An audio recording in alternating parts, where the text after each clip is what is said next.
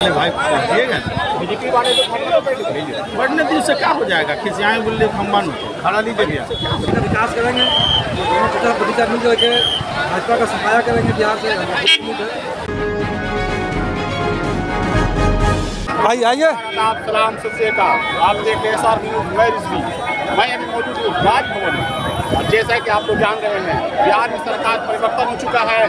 और चाचा भतीजा की सरकार बन चुकी है समारोह चल रहा है तेजस्वी यादव आई पी का शपथ लेने वाले हैं तमाम कार्यकर्ता नेतागण विधायकगण सारे लोग दोनों पार्टी के हो जेडीयू हो या डी हो सब यहाँ पे के माहौल में घूम रहे हैं आरजेडी कार्यकर्ता हम लोग से जानना चाहेंगे इस क्षण का आप लोग इंतज़ार कब हैं?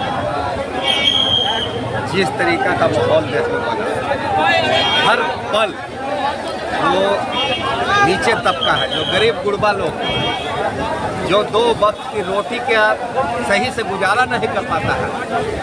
हर एक पल वो जीना चाह रहे थे इस का इंतज़ार कर रहे थे बेसब्री से इंतज़ार कर रहे हैं।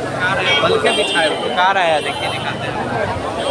क्या लगता है जो तेजस्वी यादव ने वादा किया था दस तक की पहले ही कैबिनेट की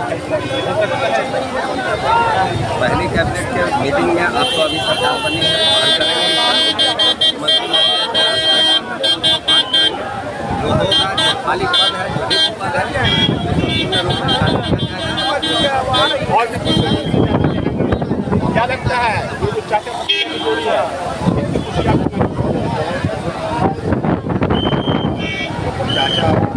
जोड़ी पहले ही मिल जाने की।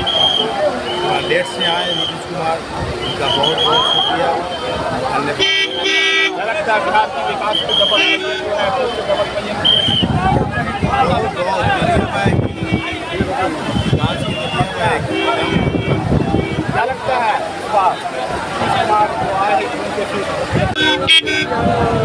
बिहार का विकास करेंगे।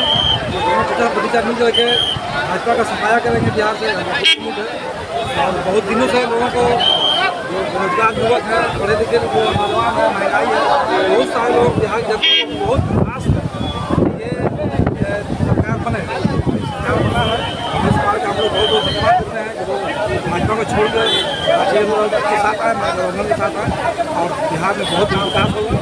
हम लोग भाई बोलने का तो ज़रूरत नहीं है। हम लोग तो तय दिन से चाह रहे थे कि नीतीश कुमार जी आए गार्जियन है। उनको स्वागत। लालू जी हमेशा कहते तो भैया का फ़ोटो ले लीजिए भैया। में धक्का बलम कलकत्ता हम तो बीजेपी वाले भाई पहुंचिएगा बीजेपी वाले तो हो बढ़ने दिन से क्या हो जाएगा? खिसियाए बोले खम्बा नु खड़ा लीजिए भैया सीधा। वहाँ तो नीतीश कुमार मुद्दा बात कर रहा है लगाएँगे ना भाई? तो लगाएँगे। हैं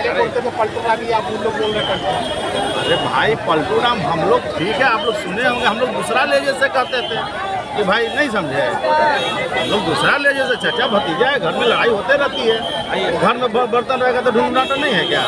अरे मेरे गार्जियन है हम लोग लड़ेंगे खाएँगे पिएँगे कुछ बोले काम कौन होते हैं बोलने वाले। क्या है? विकास की प्रति आगे बढ़ेगी आपको जानकारी होगा कि भाई बेरोजगारी इतना चरम सीमा पे है बारह सौ रुपये से ला हो गया, क्या बोलते हैं उसको? Gas cylinder. अब आपकी तनख्वाह दस हज़ार रुपया। अब गैस सिलेंडर बारह सौ में लीजिएगा तो अनाज की औरत बीमार पड़ जाएगी तो कहाँ से इलाज करिएगा? कहीं हॉस्पिटलाइज हो गई डिलीवरी पेशेंट हुआ, या और कुछ हुआ, कहाँ से इलाज करिएगा? इतना महँगा इलाज है। तो भाई बेरोजगारी तो चरम सीमा पे है। तो, तो भाई तो स्वाभाविक है भाई नीतीश कुमार जी बहुत तरह से बेरोजगारी से महँगाई से भ्रष्टाचार भी बढ़ाए हुए हैं कस के तो तेजस्वी जी बोले हैं इस पर चिंतन मंथन होगा। हंड्रेड परसेंट रोज़गार मिलेगा लोगों को। बोलने के बाद है क्या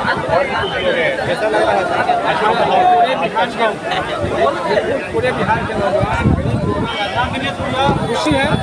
सारे नौजवान रोज़गार आशा भरी निराश से तेजस्वी जी की ओर देख रहे हैं।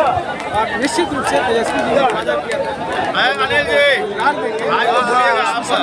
बधाई बधाई। देश आज महँगाई से और बेरोजगारी से त्रस्त है। यहाँ के नौजवान यहाँ के किसान यहाँ के विद्यार्थी। है और जो सपा की जो नीति थी दंगा फसाद करा करके हिंदू मुस्लिम भाई, दूसरा नहीं करके मंदिर मस्जिद कर करके ना। देश पे देखिए, सत्ता कायम रखना। लेकिन आने वाला दो हज़ार चौबीस होगा माननीय नीतीश जी कुछ हम लोग चुनाव लड़ेंगे। नरेंद्र मोदी के गद्दा से उठा के देखिए मेरे साथ मौजूद थे आरजेडी के कार्यकर्ता कार्यकर्तागण और तमाम लोगों ने यही कहा है कि तेजस्वी यादव जो वादा किया है वो ज़रूर निभाएँगे। अब देखते हैं वक्त ही बताएगा कि आगे क्या होता है। ग्रहण है हम लोग वही मौजूद है। राजभवन के पास